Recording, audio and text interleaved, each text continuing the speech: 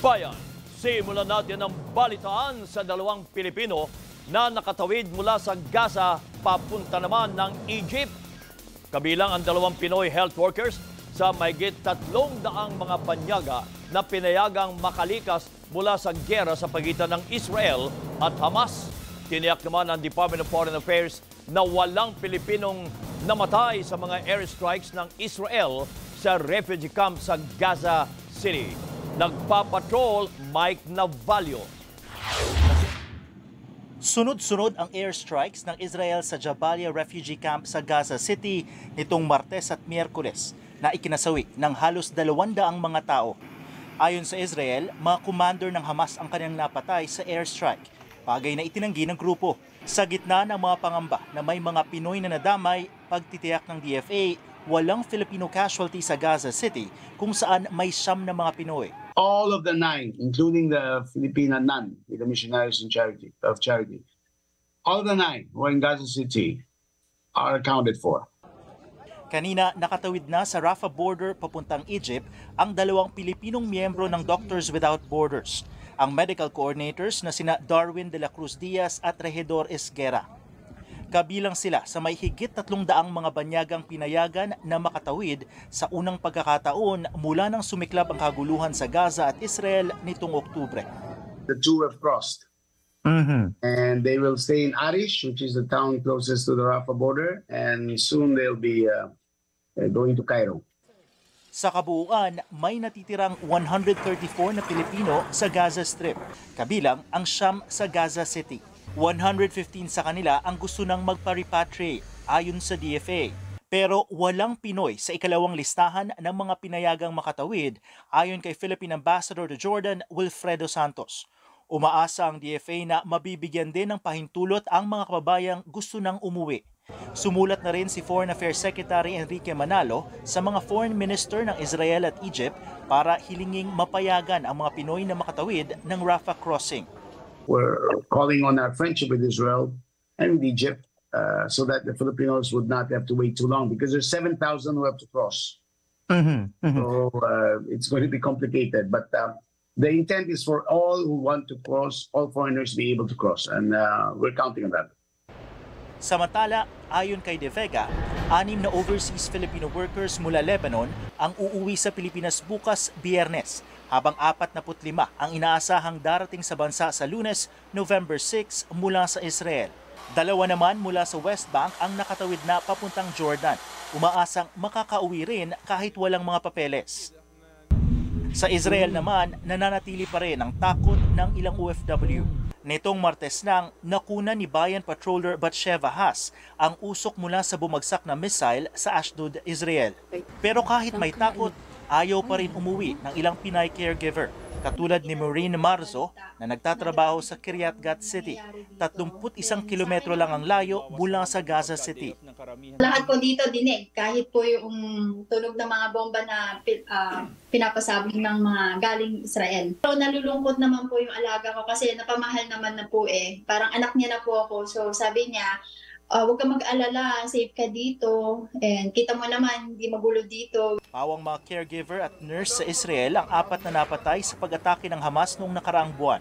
Naiuwi na ang mga labi ng isa sa apat habang pauwi na rin ang mga labi ng isa. Mike Navalio, ABS-CBN News. Muli namang nanawagan ang grupong Doctors Without Borders ng Tigil Putukan lalo't malapit na bumagsak ang healthcare system sa Gaza. Miyembro ng humanitarian group ang dalawang Pinoy na kabilang sa unang batch ng mga dayuhang pinayagang makatawid sa Egypt mula sa Gaza. Nagpapatrol Rafael Bosano. Today is the fourth day of festivities. We are working at Alauda Hospital north of Gaza, where yesterday we received 50 patients. Kuha ang video na ito noong mga unang araw ng bakbakan sa pagitan ng Israel at grupong Hamas. Isa si Darwin de la Cruz Diaz sa mga naipit sa gulo. Sa kabila nito, buong tapang siyang naglingkod sa ilalim ng grupong Doctors Without Borders para magamot ang mga sugatang sibilyan. It's very difficult as well for our Palestinian staff because they lost their houses in strike and several of them lost their family members. Kasama niya sa Gaza ang kapwa Pinoy at medical coordinator na si Regidor Esguera. Ang maganda lang balita is that they are safe at yung kanilang mga pamilya ay eh, in touch kanila, nakiki, eh, they're able to contact them. O, hindi uwi ng Pilipinas ah, at kung uwi man, ano to, on the private account, no? hindi repatriation program ng Philippines. No? Ang Doctors Without Borders ang gumagastos para sa kanila. Ayon sa grupong Doctors Without Borders, bagaman nasa mas ligtas silang lugar, nakakikilabot pa rin ang realidad na kinaharap nila doon.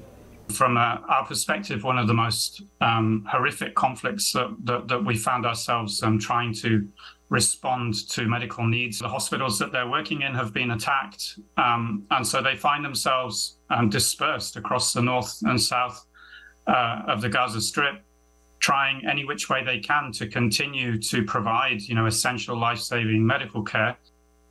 Isang international medical humanitarian organization ang Doctors Without Borders na layong magbahagi ng tulong medikal sa mga taong naiipit sa gyera, mga biktima ng sakuna at pandemya.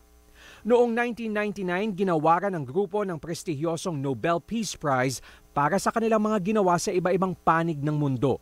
Dito sa Pilipinas, dumating ang grupo matapos ang pananalasa ng mga bagyong Yolanda at Odette. Ayon kay McFun, kailangan na talagang magkaroon ng ceasefire sa pagitan ng Israel at Hamas lalo't malapit ng bumagsak ang healthcare system sa Gaza. It, it's very, very clear that the um, uh, the health system currently is facing collapse, and not just from attacks, but from uh, the blockade and the uh, and the siege. The situation now is is about survival. It's a pressure cooker, and things are starting to to crack, to explode. Over the next days, with no fundamental change, we'll see a catastrophic impact on the health system itself. And if that falls apart, we're going to see a catastrophic loss, loss of life. Sa ngayon, nasa proseso na ng ikutan ng tauhan ang international team ng Doctors Without Borders. Malilipat muna sa ibang bansa sina De La Cruz Diaz at Esguera. Pero tiniyak ng grupo na kahit mapulbos ng airstrike ang Gaza, tuloy ang kanilang serbisyo dahil ang pagtulong sa mga sibilyan ay obligasyon sa ilalim ng international humanitarian law. Rafael Bossano, ABS-CBN News.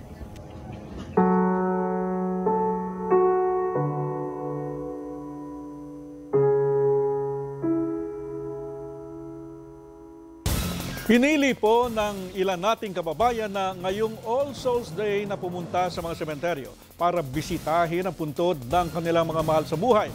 Truck-truck naman na basura ang nakolekta sa Manila North Cemetery.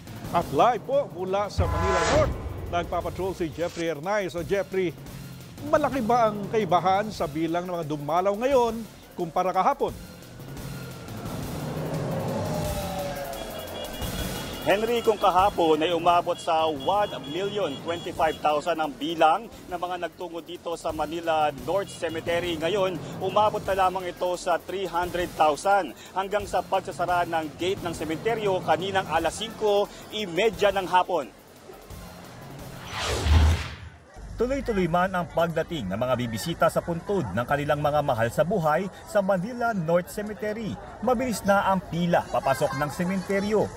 Kumpara kasi kahapon, mas kaunti na ang dumalaw sa kanilang mga patay. Ilan sa mga bumisita, tinapos muna ang trabaho at pagbabakasyon sa mga probinsya dahil sa long weekend. Kasi po wala pong time eh. May trabaho po kasi ako. Nag-vacation po muna sa Batangas, nag-enjoy muna bago puntahan yung mga mahal sa buhay na namayapan ako. Umabot naman sa 134 metric tons ang nakolektang basura sa Manila North Cemetery mula October 28 hanggang November 1. Masayang masaya po kami dahil nairaos po namin ang Undas 2023 ng maayos at matiwasay. So nakita namin, very happy po yung mga tao at naging effective po yung libre sakay. Kung bawal sa Manila North Cemetery, marami naman ang nag-overnight sa Manila Memorial Park sa Paranaque City. Sa kaya ng pamunuan ng sementeryo, umabot sa 150,000 ang dumalaw mula Miyerkules hanggang kaninang madaling araw. Pinili naman ng iba na ngayon na lamang magpunta. Kahapon maulan. Ngayon, at saka mas maraming tao for sure. Eh ngayon nga ados na, matao pa rin. Kaya ngayon lang kami nakadalaw. Sa libingan ng mga bayani, mas kaunti rin ang bumisita ngayong undas dahil sa long weekend na sinabayan pa ng barangay at SK elections. Sa tala ng sementeryo, mahigit 47,000 ang dumalaw sa mga namayapang sundalo, pagulo, national artist at mga namayapang opisyal ng gobyerno sa isang daan at limang ektaryang libingan. Dahil sa umabot na sa mahigit 50 at 3,000 ang nakalibing, plano itong isaayos. The libingan ng mga bayani is a national shrine and this is being uh, supervised by the PIBAW and PIBAW has its uh, five-year redevelopment uh, modernization plan. Sa Loyola Memorial Park sa Marikina, baklasan na ng mga tent na ginawa ng mga bumisita. Gayong araw umabot sa mahigit 3,000 ang nagtungo sa sementeryo. Hindi kami pupunta kahapon dahil bukod sa maulan, matao. Alam mo naman, mahirap nang maglakad pagka matao, maputik ang mga senior citizens. Tapos itong mga apo ko, mga bata pa. Kung sa ibang mga sementeryo, auno dumadagsa ang tao, patuloy naman ang tradisyon sa Angono Rizal na tuwing ados ng Nobyembre, dumadalaw sa mga puntod. Talaga pong November 2 kayo nagpupunta? Opo. Bakit po? Kasi ito karawan ng ano to eh, ng ano dito sa Anguno eh. Marami rin ang dumalaw sa katapat ng Municipal Cemetery na St. Clement Catholic Cemetery kung saan nakalibing ang muralist at national artist na si Carlos Botong Francisco. Taon-taon po, ina-expect po natin na meron po tayong mga 100,000 estimated na dumadalaw po. Lalo na po sa November 2. Kasi mula pa po nung tradisyon pa, hindi pa po ako pinanganganak. Eh, November 2 na po pinagdadaos ang bayan po ng Angono. Dahil po naniniwala po ang bayan na talaga pong All Souls Day. Eh, November 2 po. Samantala, sa pangkalahatan, nairaos ng mapayapa ang paggunita ng undas sa buong bansa ayon sa PNP. Ngayong uh, 2023 with our uh, plan o plan uh, UNDAS, security plan UNDAS, um, uh, generally peaceful ang uh, pag uh, ano, sir, pag-celebrate ng ating uh, uh, Oplan Kaluluwa. So in general, wala pong uh, naitala o datos ng uh, gulo sa anumang sementeryo. Mm, ano At uh, in general, uh, napakaganda ng pagse-celebrate ngayon, uh, ngayong taon na to. Henry, ito ang uh, sitwasyon sa labas nito nga Manila North Cemetery. Marami pa rin no, na mga vendors na nakapwesto dito. Yung mga kanina na, na bumisita sa loob ng sementeryo ay nandito pa rin. Sarado pa rin, no, Henry, itong kalsadang ito sa labas ng sementeryo. Dedepende sa daloy ng trapiko at sa dami ng tao dito sa kalsada kung muli na ba itong bubuksan sa daloy ng traffic. Mamaya iyan, Henry. Maraming salamat, Jeffrey Hernandez.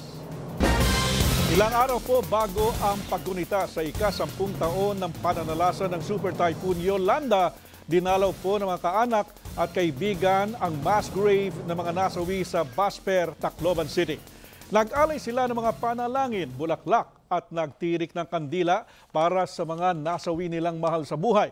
Nakalibing sa nasabing mass grave ang mahigit na 2,000 at 200 biktima ng super bagyo.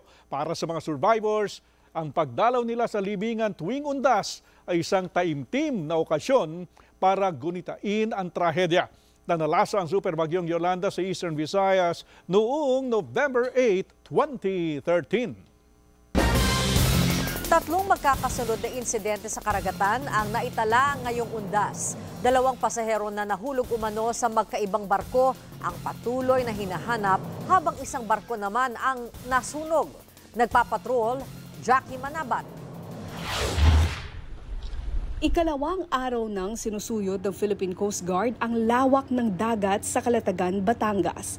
Noong isang araw kasi, isang pasahero ang nahulog sa isang pampasaherong barko na biyahing Maynila papuntang Bacolod.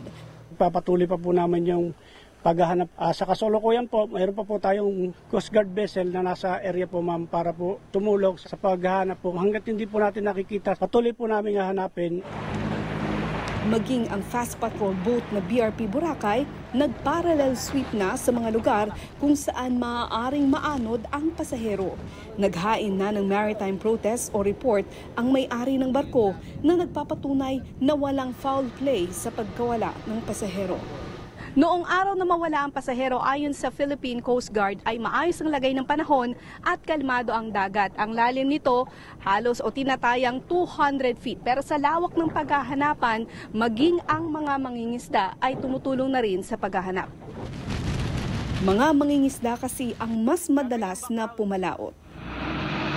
Kahapon, isang pasahero ulit ang nahulog sa barko sa Monreal, Masbate na biyahing Albay. Ayon sa investigasyon ng Philippine Coast Guard, wala ring foul play sa insidente. Ang MDRRMO agad ding naglunsad ng search and rescue operation. Hanggang ngayon, hindi pa nakikita ang dalawang nawawalang pasahero.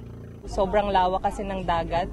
So, hahanapin natin siya sa kasulok-sulukan dito ng dagat and yung alon, weather condition.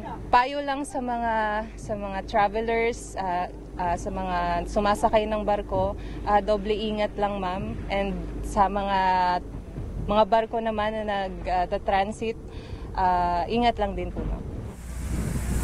Kanina, nasunog ang cargo vessel ni MV Ken sa Castilla, Sorsogon. Nakadaong pa ang barko nang mangyari ang insidente. Pasado alas 3 ng hapon nang ideklara ang fire out. Wala ring nakitang oil spill sa lugar. Ayon sa Philippine Coast Guard at Philippine Ports Authority, ligtas ang walong crew ng barko. Iniimbestigahan naman ang sanhi ng sunog. Ayon sa PCG, patuloy ang heightened alert sa mga karagatan, lalo na at marami pa rin ang inaasahang babiyahe sa mga susunod na araw hanggang sa linggo. Jackie Manabat, ABS-CBN News.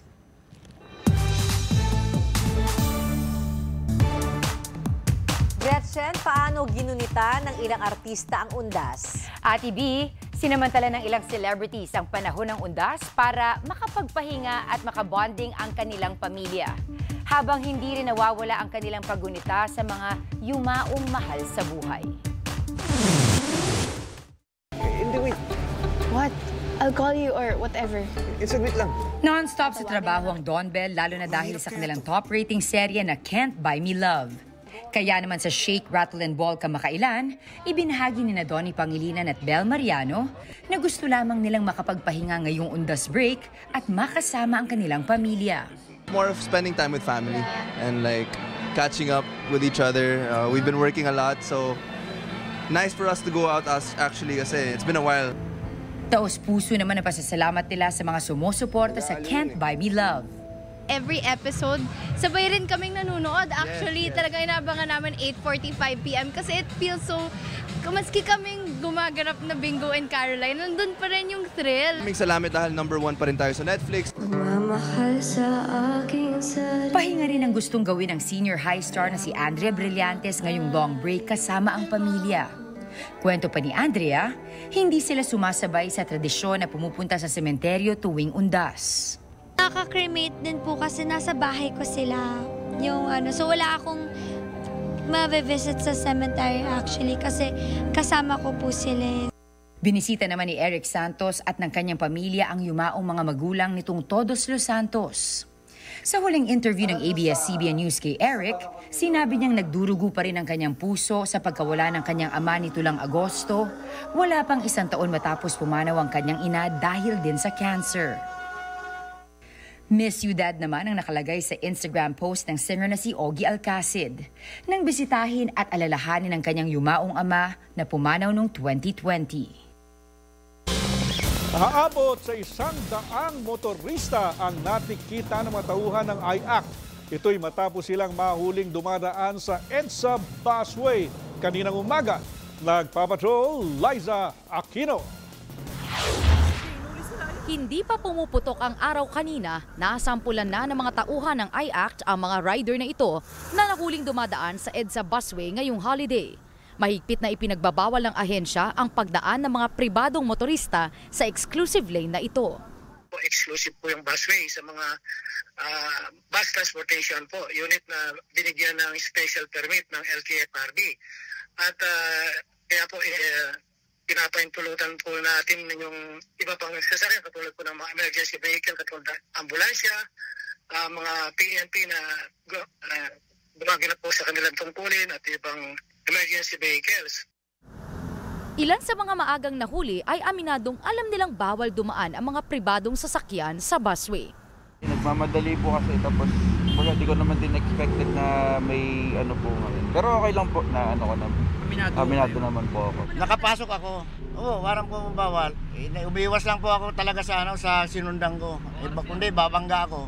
Eh, ano po magagawa eh, kasi bumangga po ako. Isang motorista naman ang naharang dahil sa patong-patong na traffic violation. Napag-alaman kasi na wala siyang dalang lisensya at wala rin siyang naipakitang official receipt at certificate of registration ng kanyang motorsiklo. Depensa naman ng rider na nakawan siya ng wallet nang bumisita sa sementeryo kahapon. I was already requesting for affidavit of loss kaso nga lang po, yun nga holidays and I just need to go to work kasi po night shift. And I just had no choice. Inimpound ng I-Act ang kanyang motorsiklo.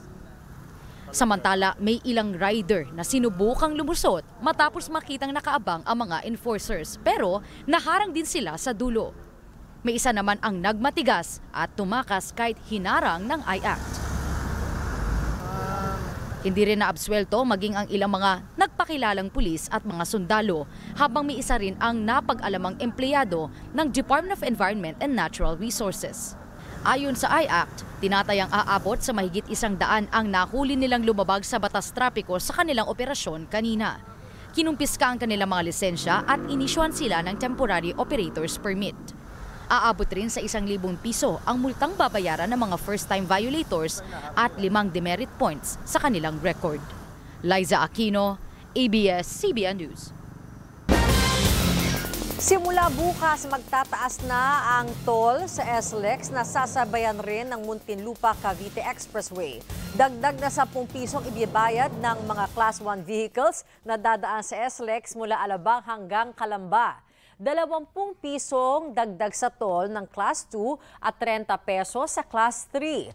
Sa mga motorista naman na dadaan sa Kalamba hanggang Santo Tomas, Batangas, 4 na piso ang idaragdag sa toll ng Class 1 vehicles, 6 na piso sa Class 2 at 8 piso sa Class 3. Sa MCX naman, piso ang idinagdag sa toll ng Class 1 vehicles, 2 pesos naman sa Class 2 at 3 sa Class 3. Ayon sa Toll Regulatory Board, kung tutuusin, hinati nila sa dalawa ang dapat na dagdag singil sa toll sa SLEX. Bukas po ang unang tranche at sa susunod na taon ang pangalawa. Dagdag ng ahensya, ito ang unang dagdag singil sa SLEX sa loob ng labing tatlong taon. Isa sa ilalim sa mahigit dalawang buwang rehabilitasyon ang Angat Hydroelectric Power Plant sa Norsagaray, Bulacan. Sa kabila naman ito, tiniyak ng gobyerno na dalawang water concessionaires na hindi mawawalan ng supply ng tubig ang Metro Manila. Nagpapatrol Alvin L. Chico.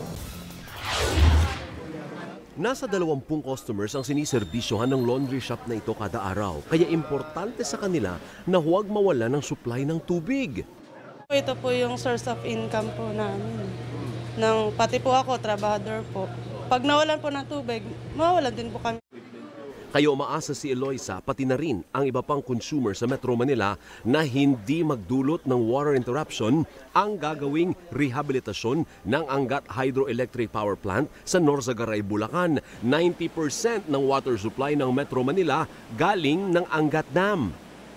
Ang tawag dyan sa nagbubuga ng malakas na tubig ay bypass tunnel na konektado naman sa tinatawag na penstock na siyang aayusin ng mga eksperto ng MWSS sa loob ng mahigit dalawang buwan.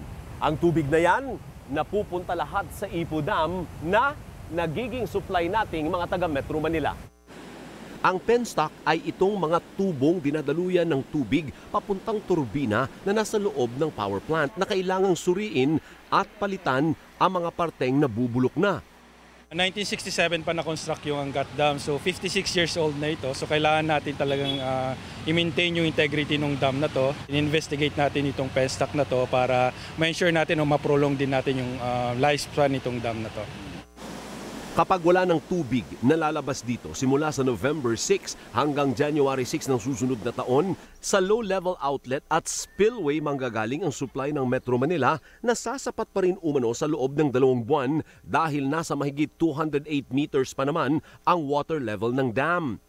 May in-expect pa naman tayong bagyo, sabi ng pag-asa. May parating na bagyo this, uh, this month so ma-ensure natin na um, sufficient pa rin yung tubig natin. Pati ang Maynilad at Manila Water tiniyak ding walang mangyayaring water interruption dahil sa rehabilitasyon ng planta sa Angat. hindi po namin inaasahan na magkakaroon ng epekto ito doon sa aming ano sa aming pagsusupply ng tubig sa aming mga customers. dire-diretso ang supply pero kahit magkaganon man, nakaready naman tayo kung sakasakaling kulang yung supply, nakahanda pa rin naman yung ating mga augmentation measures Nasa 9 million ang customers ng Maynilad sa buong Metro Manila at karatig probinsya, mahigit 7 milyon naman ang sa Manila Water. Alvin L. Chico, ABS-CBN News.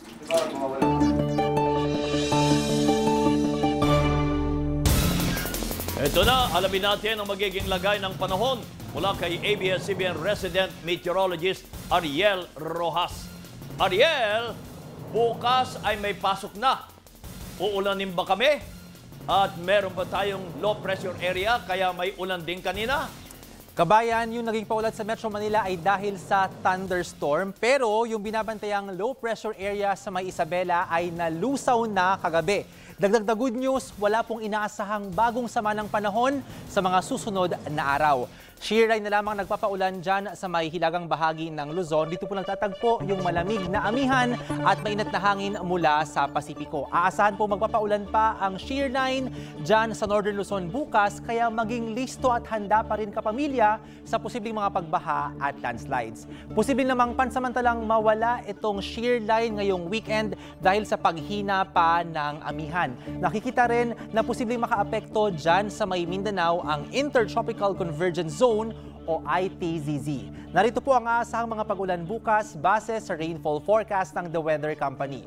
Sa Luzon, halos walang ulan sa malaking bahagi sa umaga pero maulan po dyan sa may Babuyan Islands. Dala po yan ng shear line. Lalakas ang mga pagulan sa Babuyan pagsapit ng tanghali at meron na rin mga ulan dito sa may Cagayan, Isabela, Apayao, Abra at Ilocos Norte. Sa hapon naman, malalakas ang thunderstorms dito sa Cordillera. Kita po ang orange at pulang ah, kulay dito sa mga pagulan at meron na rin mga ulan dyan sa may Ilocos Region at Central Luzon. Tatagan na po ang mga pagulang yan hanggang hapunan.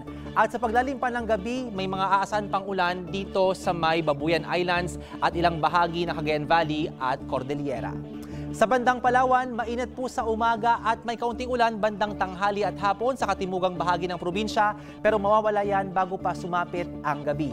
Maaraw at mainit din maghapon sa halos buong kabisayaan, posibleng maging maulap bandang tanghali sa ilang lugar pero hanggang gabi mababa ang tsansa ng mga pagulan. Sa Mindanao may maagang ulan sa may Zamboanga City at Basilan, bukas po yan pero mainit naman sa ibang bahagi pa ng Mindanao. May kaunting ulan mula tanghali hanggang hapon sa ilang bahagi po ng Davao Region, Soxargen at maging dyan sa may Zamboanga Peninsula. At sa gabi, meron pang kaunting ulan dito sa may Davao del Sur, Cotabato at Maguindanao provinces. Dito naman po sa Metro Manila, maaraw na sa umaga pero posible po ang di magtatagal na mga pagulan bandang tanghali, lalo na sa hilagang bahagi ng ah, rehiyon. Bandang alas 4 po ng hapon may kaunting ulan ulit sa Northern Metro Manila at posibleng bumalik yan pagsapit ng gabi. Kaya huwag pa rin kalimutang magbaon ng inyong payo. Yan po ang update sa lagay ng panahon. Ako po si Ariel Rojas. Ingat sa pamilya. Arestado ang isang lalaki matapos basagin ang bintana ng isang kotse sa Taguig City at kunin ang laptop na nasa loob nito. Exclusive nagpapatrol, Champ de Lunas. Nakuha na ng CCTV ang lalaking ito na sakay ng bisikleta sa Dahlia Street sa Barangay Ususan, Taguig City, Merkules ng hapon. Minaman-man na niya pala ang kotseng ito at nang makatsyempo, binasag niya ang salamin ng kotse at saka kinuha ang backpack sa loob. Sinilipan ng lalaki ang laman ng bag at nang makitang may nakasilid na laptop ay agad niya itong tinangay paalis. Pagbalik ng driver ng kotse na galing mula sa sementeryo, tumambad na sa kanya ang basag na salamin ng kanyang sasakyan. Pumunta kami dun sa barangay at pinanood namin yung ah, CCTV. Ayun, so nakita namin agad na ah, malinaw po yung kuha nung ah, magnanakaw. So sinundan po namin yon, pinunta namin yung katabi, katabi na barangay, nakita po kung saan siya talaga dumayo. Sa tulong ng CCTV video, natunto ng mga tauhan ng Tagig Police Substation 4 ang suspect sa Pateros.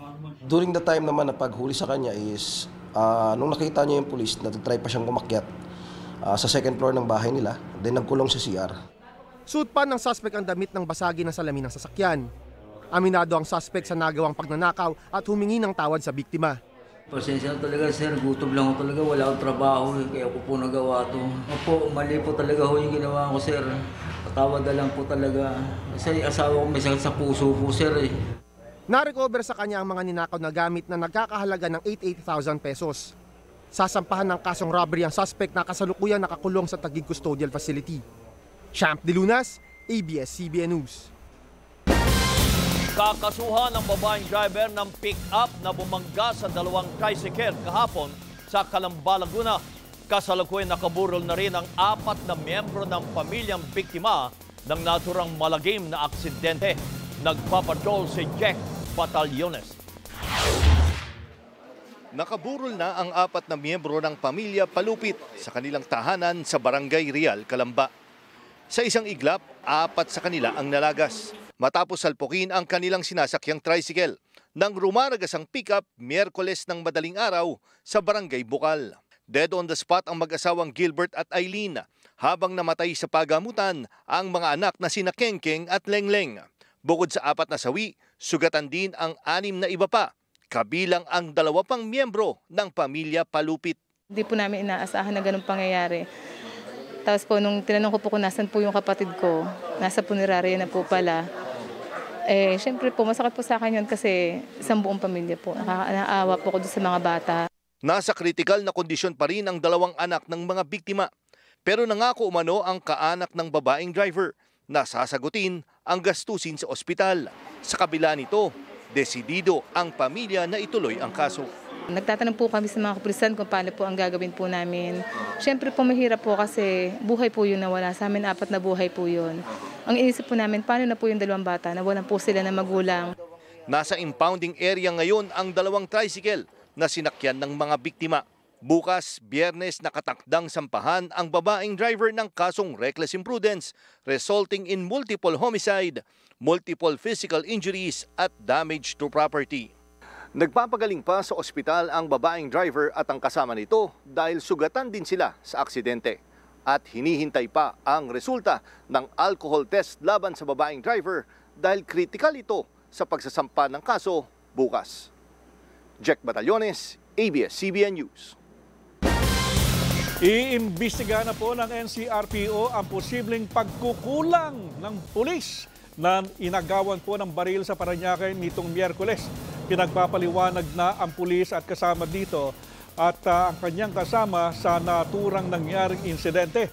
Nagpapatrol Jeff Caparas. Napanood na ni NCRPO Chief Police Brigadier General Jose Melencio Nartates ang CCTV ng pangaagaw ng baril ng isang lasing na lalaki sa isang pulis Paranaque hating gabi noong Miyerkules. Sa CCTV, kita na biglang sinunggaban ng lalaki si Police Corporal Roselito De Leon at pilit kinuha ang baril nito. Sinubukan mang pigilan ng kasamang pulis si De Leon na si Corporal Adrian Manata ng suspect na uwi pa rin sa palitan ng putok ang insidente. Agad namang naaresto ang tumakas sa suspect sa isang follow-up operation. Ayon kay Nartates, paiimbestigahan na niya ang insidente at pagpapaliwanagin ng dalawang pulis. Uh, It's so unfortunate na naagawan siya ng uh, uh, barrel. We will follow the uh, the usual procedure. Pagka may barilan naman, hmm. nag-iimbestiga whether uh, the police are uh, uh, sila yung tama or mali. Makikita rin sa video na may hawak na cellphone si Corporal De Leon nang mangyari ang insidente. Paliwanag ni De Leon, magte-text siya ng situational report noong mga oras na iyon sa binabantayang sementeryo kaugnay ng undas. Maswerte namang hindi napuruhan si De Leon at walang nasawi sa pangyayari. Important is uh, walang nasaktan, hindi rin nasaktan yung pulis at hindi rin nasaktan ng ating uh, yung suspect. Dagdag ng hepe ng NCRPO, malinaw na may pagkukulang ang mga tauhan base sa napanood na video. Without the explanation, um, uh, of course, pagka naagawan ka ng barel, uh, may lapse na doon. Administratively, sir, are they liable? Meron pa yung ganong... Yes. Doon tutungo yung investigation? Yes. Inutusan na ng NCRPO ang Investigative Division na magsagawa ng pre-charge investigation sa kaso. Kung mapatunayang may pagkukulang, posibleng maharap sa kasong administratibo na serious neglect of duty sina Corporal De Leon at Manatad. Jeff Caparas, ABS-CBN News.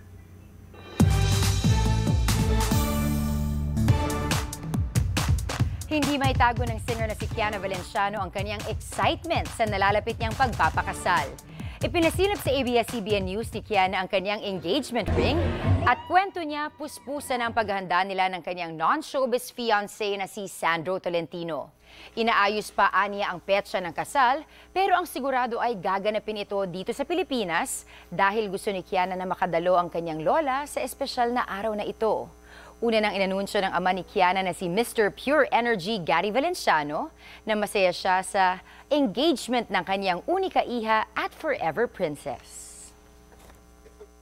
Right now, um, we have one last grandmother between us. She's my Lola, and she can't travel. So I will go where she is. So right now, it's here.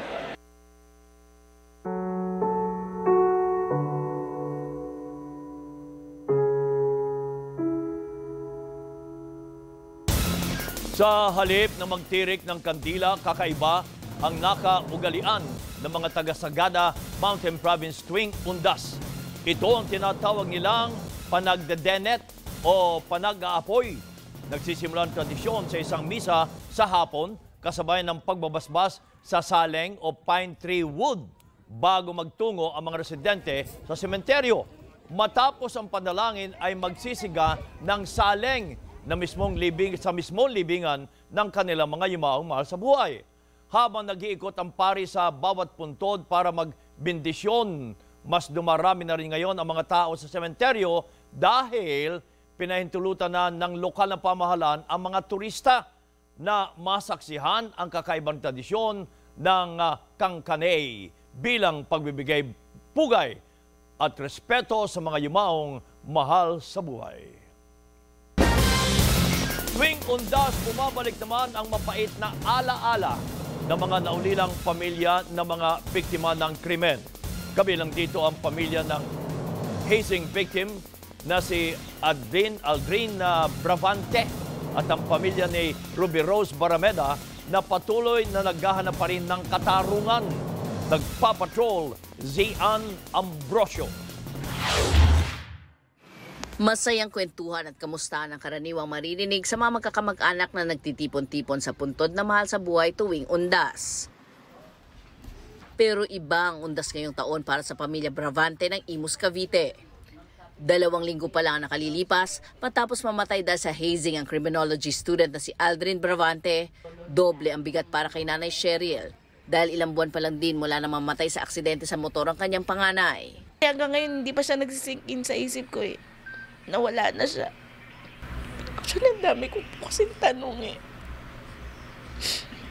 Bakit ganito? Bakit?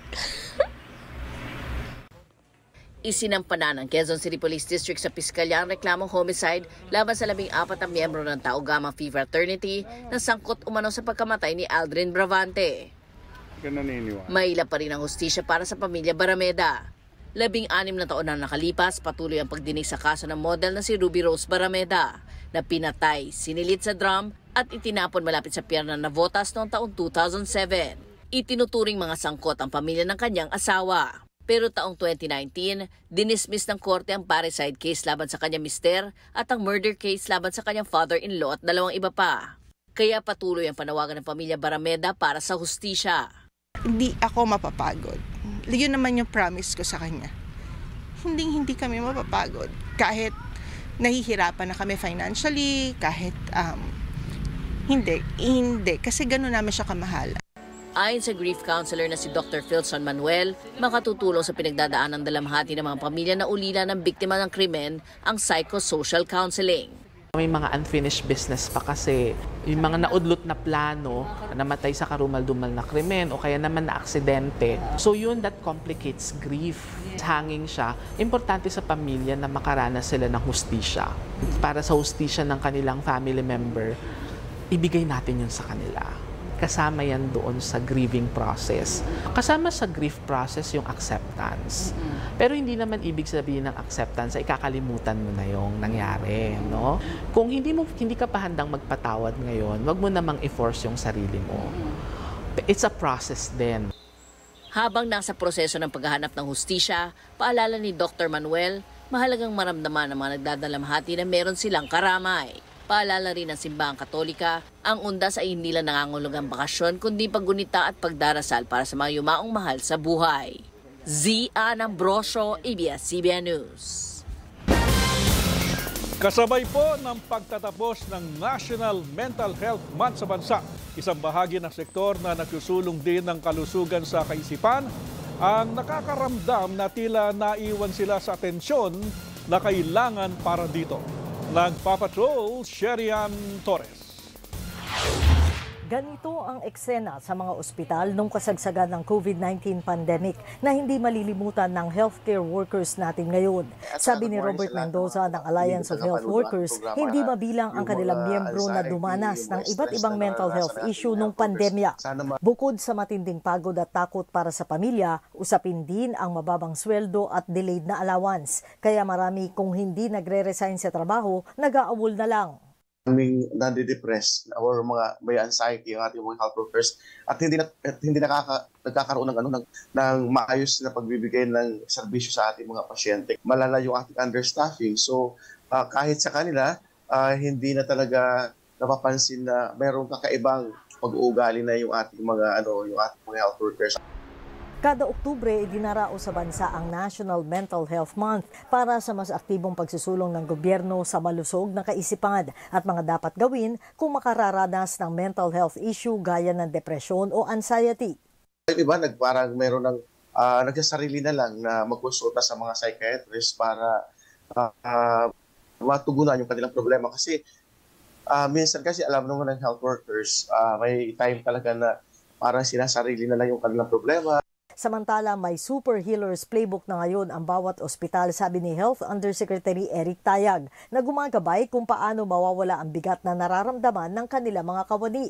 Kaya importante nga doon sa playbook na yung supervisor nila mismo o maging yung hepe ng ospital ay kailangan magsagawa ng mga kaparaanan. May mga tips doon na pwede nilang magawa kagad. Kaya lang sa group chat. At nilalagay lang doon yung mga magandang nangyari, masasaya. Nothing related sa work. Pag gano'n ang ginawa, maaaring maiwas natin sila sa mga mental health issues. Importante sa mga may mental health issue ang regular na kausap, sabi ni Tayag. Dapat din anyang may walong oras na tulog araw-araw, masustansyang pagkain, regular meditation at umiiwas sa bisyo ang isang tao. Malaki ho ang impact niyan sa atin. So yung breathing exercise, may tinatawag akong 5, 6, 7. Mm-hmm. So inhale ka, magbibilang ka ng 1 to 5. Tapos hold your breath ng 1 to 6 and then exhale ka ng 1 to 7. So gawin mo yan ng paulit-ulit, nakakatulong yan. Ang paalala ni Health Undersecretary Eric Tayag sa lahat, hindi na uso ngayon yung kimkiman ng nararamdaman. Kaya hindi ka na dapat na mahiya na magsabi o makipag-usap sa isang tao, lalo na yung makakatulong sa'yo. Sa mga gusto namang may makausap o mapaghingahan ng problema na libre, maaaring idaan ito sa crisis hotlines ng National Center for Mental Health na handang tumulong 24-7. Sherian Torres, ABS-CBN News. Walang legal na pasihan at nag-uudyok lamang ng dagdag tensyon sa West Philippine Sea. Ito ang giit ng DFA sa pinakahuling pahayag ng Southern Theater Command ng Chinese People's Liberation Army na pinasok ng BRP Conrado Yap ang karagatan na malapit sa Baho de Masinloc noong October 30. Giit ng ahensya, ang Baho de Masinloc ay pasok sa teritoryo ng Pilipinas kung saan mayroon itong soberenya at jurisdiksyon. Dahil dito, ang Maritime Patrol sa paligid ng Baho de Masinloc ay lehitimo at hindi obligasyon ng Pilipinas sa anumang bansa na hingin ang permiso nito bago magsagawa ng anumang paglayag. Kasabay nito, nilinaw din po ng AFP na walang anumang naitalang untoward incident sa pagpatrolya ng Philippine Navy sa Scarborough Shoal. The closest point na nagkaroon sila is uh, about 2.7 nautical miles. So walang restriction at wala pong uh, uh, ibang nagawa ang uh, uh, barko ng China doon sa ating barko. Nagawa po ng ating barko ang kanyang misyon at uh, matagumpay niya itong natapos.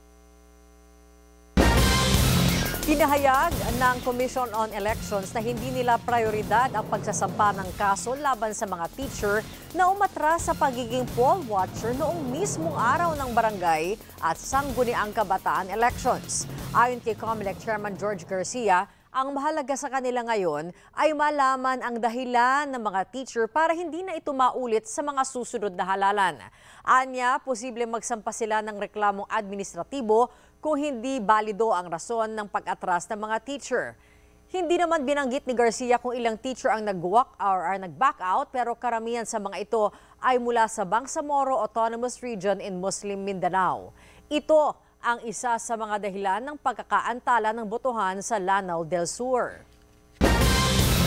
Halos kalahati ng mga Pilipino ang naniniwalang sila ay mahirap. Sa pinakahuling Social Weather Station survey, 48% ng mga pamilyang Pilipino ay kinukonsidera ang kanilang mga sarili bilang mahirap. 25% naman ang nagsabing hindi sila mahirap, habang 27% ay naniniwalang nasa gitna sila ng pagiging mahirap at hindi.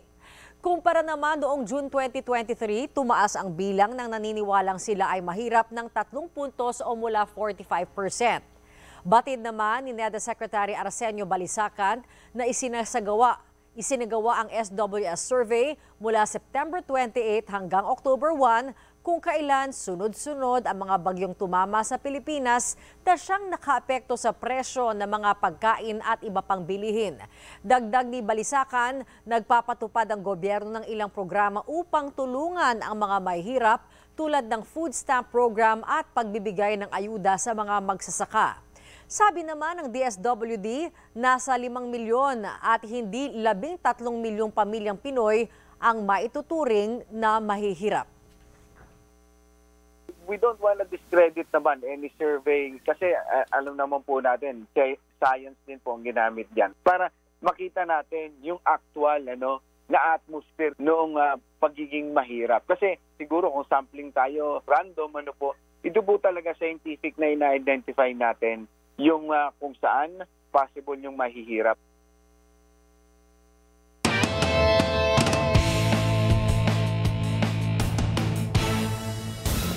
Nananawagan ng suporta ng Pinoy fans ng Philippine Ascals para sa kanilang mga laban sa World Cup at Asian Cup qualifiers na gaganapin dito sa bansa. Tinalo naman ng Philippine women's football team na Pilipinas ang Iran sa huli nilang laban sa round 2 ng Olympic qualifiers. Nagpapatrol, Diane Castillejo. Sa 1-0 na panalo kontra Iran, natapos ang kampanya ng Philippine Women's National Football Team sa pangalawang round ng Women's Olympic Qualifying Tournament. Ang midfielder na si Tanay Anis ang nakascore ng kaisa-isang goal ng laban sa ikalabing siyam na minuto. Harrison, great save initially, but the follow-up is in from Tanay Anis. And the Philippines get their goal. Ito ang ikalawang panalo ng Pilipinas sa kompetisyon. Nauna rito tinalo nila ang Chinese Taipei. Pero dahil natapos sila sa pangalawang pwesto lang sa Group A, ay hindi pa rin sila nakausad sa susunod na round. Ito ay dahil ang mga nanguna lang sa bawat grupo at ang best ranked second placer na Uzbekistan ang pasok.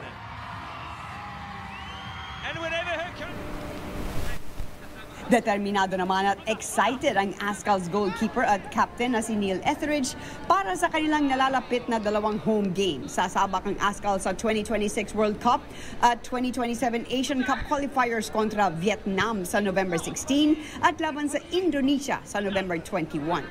We've got six games in the group, um, playing Vietnam and Indonesia at home in the Philippines first. And these two games will put us on hopefully the path to be able to qualify for the next round of the World Cup or um, definitely qualify us for the Asian Cup coming up. Umaasa ang Ascals na magtatagumpay ang kanilang 10K Strong campaign kung saan humihingi sila ng suporta ng 10,000 fans para manood sa Rizal Memorial Stadium. So we are, you know, we really, really need support as much as we can to, to be able to provide success and these are extremely important games for us uh, moving forward in the campaign that we are we're starting. Makakabili ng tickets sa mga links na matatagpuan sa official social media pages ng ASCALS. Diane Castillejo, ABS-CBN News. Hindi lamang po mga tao, kundi pati mga namayapang alagang hayop ang inalala ng mga Pinoy ngayong panahon ng undas. Ang ilang pets nakahinlay pa sa isang libingan na laan lamang para sa kanila. Nagpapatrol, Lady Vicencio. Tulad ng karamihan, dumalaw sa sementeryo si Shane ngayong undas. Pero bukod sa mga mahal sa buhay, sinadya niya rin ang pet cemetery na ito sa Marikina, kung saan nakalibing ang siyam sa mga dati niyang alagang aso. Mahal ko po sila kaya hinanapan ko po talaga sila ng place na makapagpahinga po talaga sila. Nung time na nagkasakit sila, yun po yung part na pinakamasakit po sa akin. Ayun po, kaya ngayon binibisita ko sila as sorry kasi hindi ko sila naalagaan. Marami sa mga pet lovers itinuturing na kapamilya ang mga alaga nila. Kaya naman dumami na rin ang naglilibing ng kanilang mga hayop sa Pet Memorial Garden na gaya sa Barangay Fortune, Marikina City. 2019 sinimulan ng barangay ang paglalaan ng maayos na libingan para sa mga patay na aso at pusa na nakukuha nila sa kalsada. Hindi nila inasahang marami pala sa mga residente ng kanilang barangay at maging sa mga kalapit bayan ang naghahanap ng mapaglalagakan ng labi ng kanilang mga alaga ang bilis po talaga mapuno ng space. Hindi ko na matanggihan. Alam mo naman yung puso natin, mababa pagkadala na nilang namatay nilang alaga at umiiyak. Bukod sa fur parents, pati ang mga kapwa hayop ng mga namayapa ay dumadalaw din sa pet cemetery tulad ng Dachshund Shih Tzu na si Chiki na nagpunta sa puntod ng kapatid niyang si Oreo. Kwento ni Tatay Antonio, may kakaibang koneksyon ang magkapatid na hanggang ngayon ay ipinakikita ni Chiki. Nagulat ako pagpunta namin dito, inamoy niya. Eh. Pagkaamoy niya, umupo siya. Kaya napaluwa ako. Hindi biro ang maintenance ng Pet Memorial Garden lalo't pinapayagan din nila ang pagsasagawa ng burol dito. Kaya merong 300 pesos na burial fee para sa mga residente ng Barangay Fortune at 500 pesos naman sa mga taga-ibang lugar. Kung may naghahanap ng maayos na huling hantungan para sa kanilang mga alaga, may fur parents din na pinipili ang taxidermy o ang pagpreserba ng itsura ng mga hayop noong nabubuhay pa, tulad ng American Bully na si Beauty Queen na napanatili ang makintab na balahibo at maskuladong pangangatawan. Spoiled at paboritong aso siya ng pamilya ni Marvin hindi nila ininda ang gastos na umabot ng 20,000 piso para ma-preserve ang alaga na tila buhay pa ang itsura. Kami nagpalaki sa kanya eh. Naisipan namin siyang ipaganyan para kahit papano nakikita namin yung ano niya, memories niya parati. Nang pumanaw din ang anak ni Beauty, cremation naman ang pinili nila Marvin para sa kanya. Iba't iba man ang paraan ng pet owner sa paggunita sa mga pumanaw nilang hayop. Iisa ang hangad nila ang mapanatiling buhay ang alaala ng mga alagang naging parte na ng kanilang pamilya. Lady Vicencio, ABS-CBN News.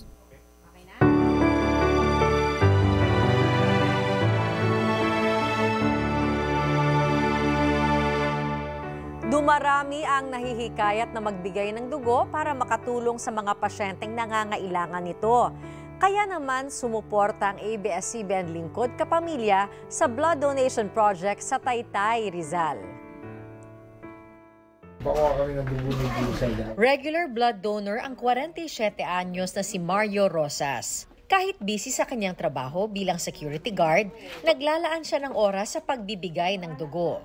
Kaya naman maaga pa lang, ang Sagip Taytay Blood Donation Project ng DOH Calabarzon ang kanyang first stop. Tatanong po kung kailan po lagi yung, o yung, yung donor, yung pagdodonate po ngayon, kung saan ang venue or kung kailan. Hindi rin pinalampas ni Police Corporal Leo Talub ng Rizal PNP ang pagsali sa ikapitong blood donation drive. Na-push ako mag-donate dahil po sa pinsan ko dati na nangangailangan ng dugo.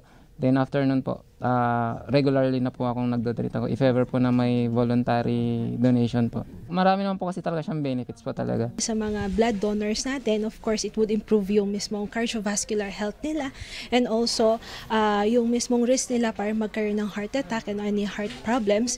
And also, yung maidudulot din nito sa mga pasyenteng nagdodonate is malesen yung stress nila and also yung timbang din nila. Sa pagsasama-sama ng DOH Calabarzon, Taytay LGU at ABS-CBN Foundation Lingkod Kapamilya, naging matagumpay ang Sagip Taytay 7th Blood Donation Project. Yung mga gantong projects po, ah, malaking tulong po siya sa PGH since tertiary referral hospital po kami and we cater to a lot of patients. Nakakolekta ang programa ng tinatayang 98 blood bags na direktang mapupunta sa mga pasyente ng Philippine General Hospital.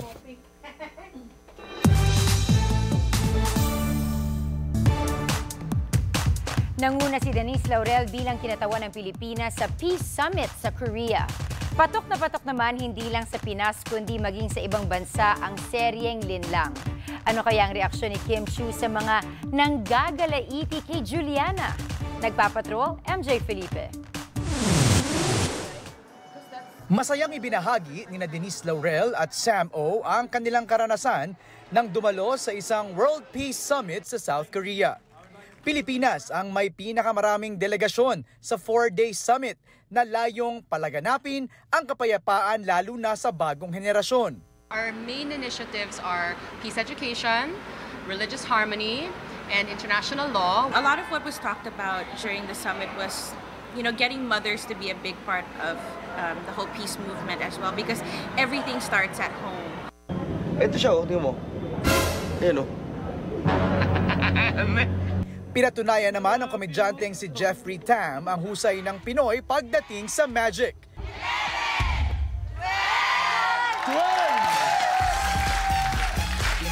Kamakailan ginawaran siya ng Merlin Award for Best Comedy Magician 2023. Ang Merlin Award ay ang pinakamataas na parangal na binibigay ng International Magician Society sa mga natatangi at kapwa nilang magikero sa buong mundo. Tuparin mo yung pangako mo ha, napapakasalan mo ko. Samantala, umaariba naman sa iba't ibang bansa ang hit seryeng Linlang.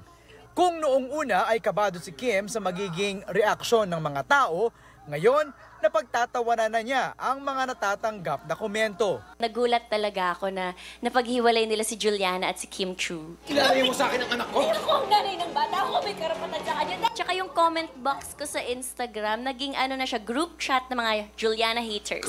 Nagpasalamat ang buong cast sa tagumpay ng serye. Pero revelasyon ni Paulo, hindi pa natatapos ang mga pasabog sa mga susunod na episodes. Iniisip ng mga tao na parang feeling ko ganito mangyayari o ganito mangyayari pero at the end of the day, hindi yun yung mangyayari based sa nalalaman nila. Huwag mo ako sisisihin kung hindi ka na mahal ng asawa mo. Mapapanood ang Linlang sa Prime. MJ Felipe, ABS-CBN News.